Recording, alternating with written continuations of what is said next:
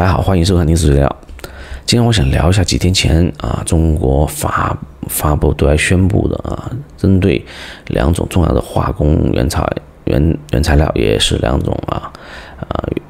元素啊，就锗和镓这两种重要的元素的出口啊，中国啊下了啊禁令，那就不让出口了啊。锗和镓这两种元素呢？中国呃，在它的开采、啊提炼、制造，甚至就供应上呢，是占占着绝啊绝对主导地位的。呃，当然，这个主导地位并不是说这两种元素只是在中国有储备，别的地方没有，并不是啊啊，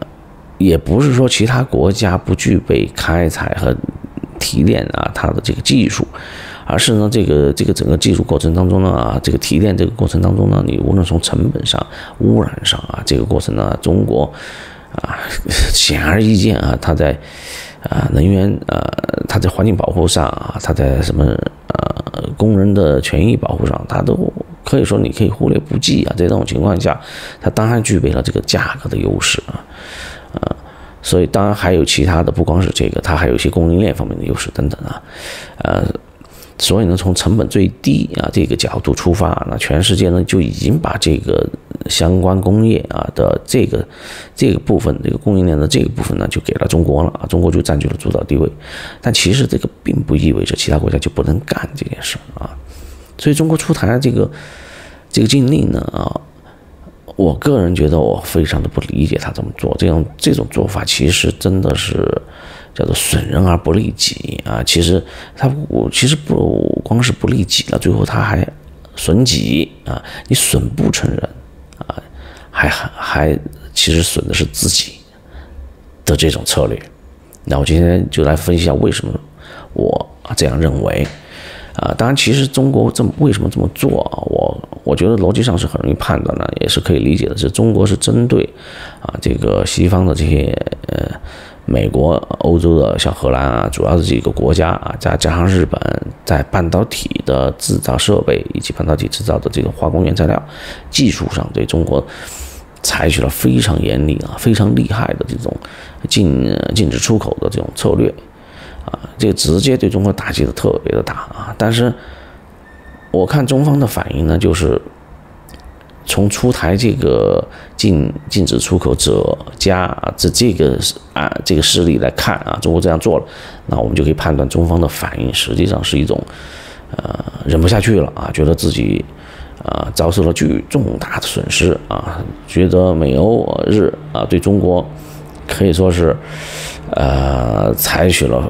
咄咄逼人的这种进攻态势啊，那中国必须要针锋相对，也开始反攻啊，这算是中国的一种反攻，或者说这算是中国的一种以啊硬碰硬啊，以斗争 应对斗争的一种啊一种回应。那为什么这种回应是愚蠢的呢？或者这种回应根本就不会有它的效果，只能有反效果？我们说，如果两个集团或双方或者咱们简化的，还就中国和西方，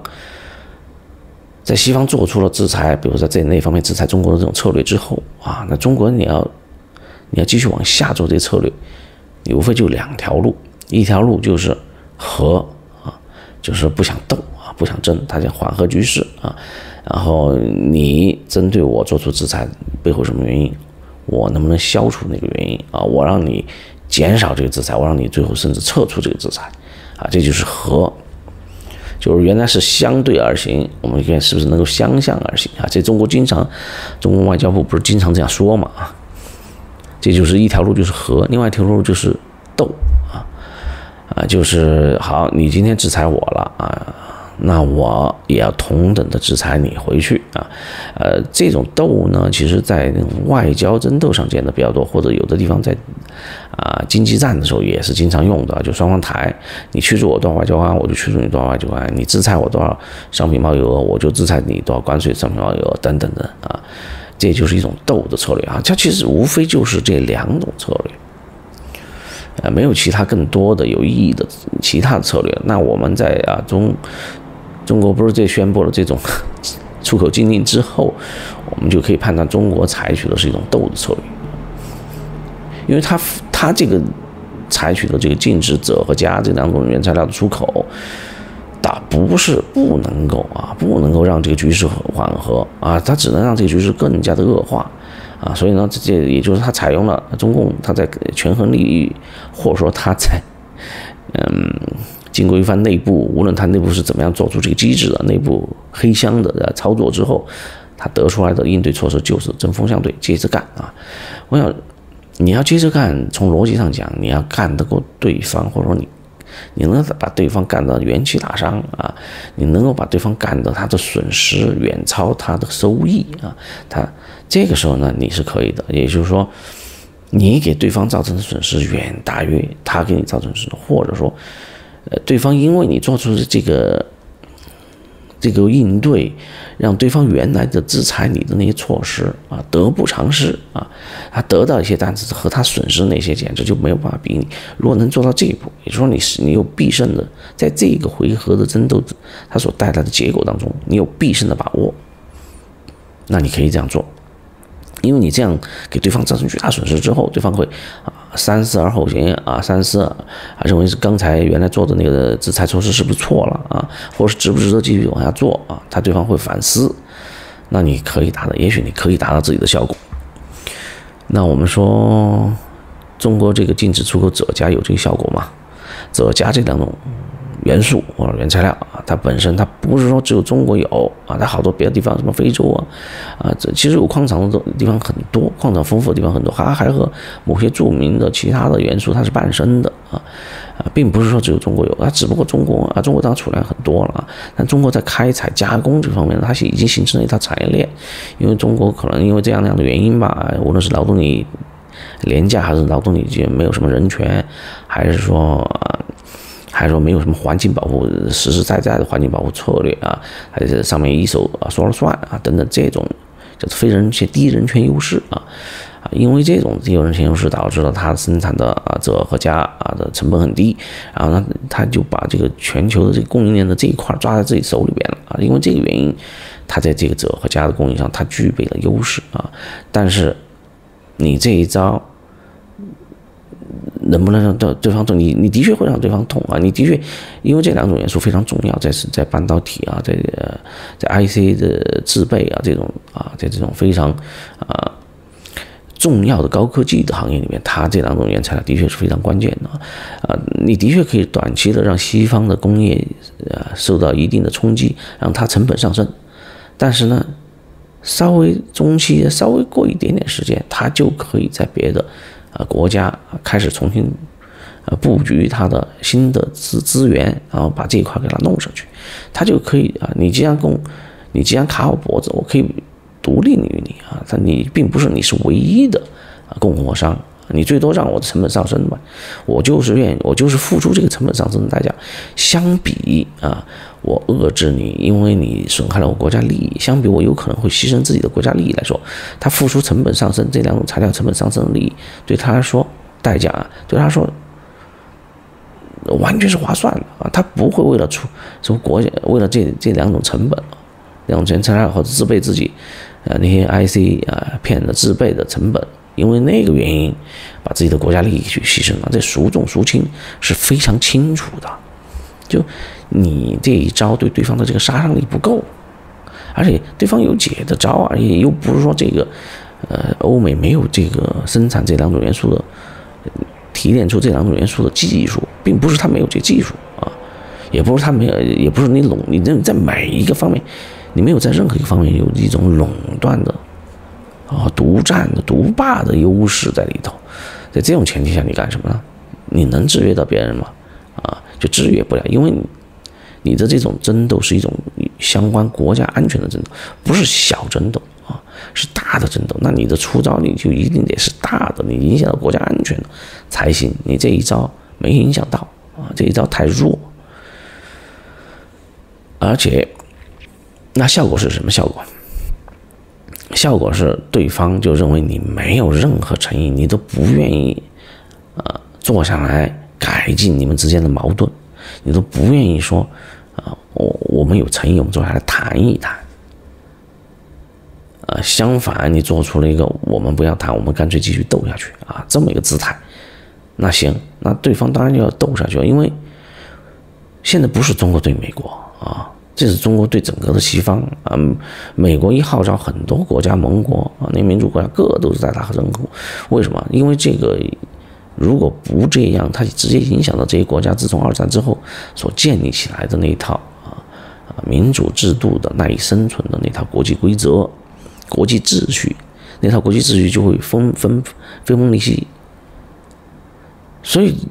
所以西方它现在是铁板一块，就跟他们怎么对付俄乌战争的那种团结是一模一样的，甚至更团结，甚至有可能，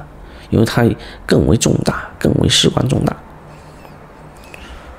好，你你如果认识到这一点之后，那你就知道你继续要斗下去，只有一种前提，你可以继续斗下去，那你可以把整个西方都给搞搞趴下，啊，你的实力超过整个西方联合起来的实力。如果是这样，你可以继续斗，那是这样吗？好，你你就算是在半导体上，你把锗和镓这两种元元素呃给短时间内啊，你让西方出现某种短缺啊，成本升高。但是就算是他短缺这个，他要反制你太容易了，因为你有无穷多的把柄在他手里面啊，呃，因为你是一个国家，那个是除了你之外的整个世界。这个量级是不一样的，所以无论是技术、其他的材料，你这分分钟就把你卡住啊！那真要卡你，可以卡到你痛不欲生，这次后果是非常严重的。就像它真的可以让你的半导体，呃，甚至给就不不给你做买卖，不给你做半导体交易了。就像它限制啊，它整个欧洲怎么抵制俄罗斯的石油、天然气一样。当时开战前，俄乌开战前。这俄罗斯的算盘打得很精，就认为欧洲它不可能完全不要它俄罗斯的能源，他认为俄罗斯扼住了欧洲能源的咽喉。事实是什么呢？欧洲他愿意，他能够啊，就宁愿去让自像德国这种国家、英国，它的能源啊涨几倍，能源价格付出巨大的通胀的代价，他都不愿意被你卡这个脖子啊。就是说，你今天敲诈勒索我，我就同意了，这没有这事儿啊。他的实力远在你之上，你能够敲诈勒索得到他吗？就像你是街头一小混混，你能勒索到这个这个全全国最大的黑帮老板吗？不可能，是不是？所以这个中国技术这一招啊，他没有想清楚啊，他有没有这种他的他在这个整个的争斗当中，他在天平的哪一段，天平朝谁倾斜，他没想清楚。好，有人说就是啊啊，那从中国这方面，因为站在中国，你看的都是啊，西方怎么欺负你了，孰可忍孰不可忍啊？这种态度的民族主义一一激发，大家都是不忍啊，就是要干啊。也就是有的人他就会问啊，真的是西美国啊，怎么着整我们哦？我们有没有办法应付？啊，但这种是问题本身就很愚蠢了啊。但我要说是。你真正两个国家，特别是国与国之间，甚至国与一个集团之间，中国和西方整个之间，发生这种矛盾的时候，斗争是没有结果的。你就必须得坐下来，你要找出来为什么对方会团结一致的对你，啊，你要找出来，那你至少是要表示一这个诚意出来，啊，你说行啊，但是你也可以向对方摊牌，我有这样那样的原因，我不是说我啊就是要跟你过不去，我我不是说我这么走啊。呃，影响了你国家安全，我就必须得这么走。你可以向对方解释你的原因，但你一旦表示诚意来之后，对方就会对你多一份信任。就像你在生活当中遇到一个和你矛盾重重的人，你到某天你实在是。不行了，你必须要跟他谈谈。你说我们之间矛盾太大了，我们这样我们不解决它，我们必然会出大问题。然后我们要谈谈，但对方根本不愿意谈啊。这个时候你就开给，你就用采取措施来警告对方，或让知让对方知道不能这样下去的时候，对方如果的反应是怎么着，我就是要这么干啊，我就呃我不我我对你所有发出来的，我是一种负面的方式来应对啊。你你捅我一下，我捅你两下啊，这种方式，或者说我不愿意坐下来跟你谈，呃，沟通啊，双方了解为什么你要这么制裁我，我做你可以给我建议我该怎么做。你如果不做出这种姿态的话呢，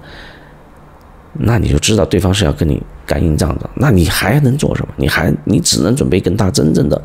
啊，打一场恶战，那你只能去备战，你只能去准备的和他，呃，叫做真刀真枪的实干了，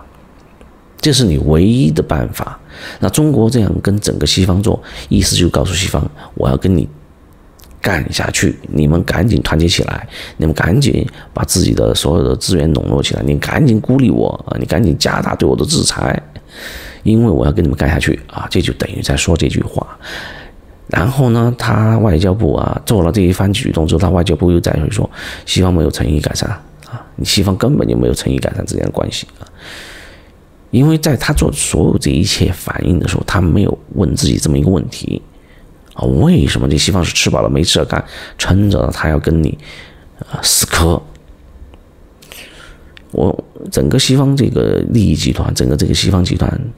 民主或者民主国家的这个阵营啊，他不会，他要跟中国斗，他也付出非常大的代价。就像整个欧洲、整个西欧，跟站在乌克兰背后跟俄罗斯针锋相对的时候，他付出了巨大的代价。所以，整个西方跟中国斗的话，他付出代价比那个代价更大。他们。不会平原平白无故没事吃饱了没事干，仅仅是敌视你也好，歧视你也好，就跟你这么干的，这个不符合经济规律。你一定是损害了对方的最根本的利益，你就把别对方的路挡走，不让对方有这条出路了。这种前提下，对方才可能跟你死磕。这个时候，你是愿继续跟对方啊，你挡住别人的，不让别人活的这条路呢，还是说坐下来跟别人谈一下，让别人双方增加一点理解啊，至少做出这个姿态，然后甚至你做出这种姿态，说不定对方的制裁就会减弱半分。是我们没有看到中国做出任何这方面姿态啊，他总是觉得啊，我自己今天。我又被你整了，我又被你啊，你又合伙搞我了，我要搞回去，这是什么智商？这是什么样的啊智商做出来的反应？这是一个 在生活当中的话呢，就是牛二，或或就是那种 呃少根弦的人啊，他做出来的反应，而不是一个国家应该做出的反应。好，我今天先聊到这，咱们下回再聊，拜拜。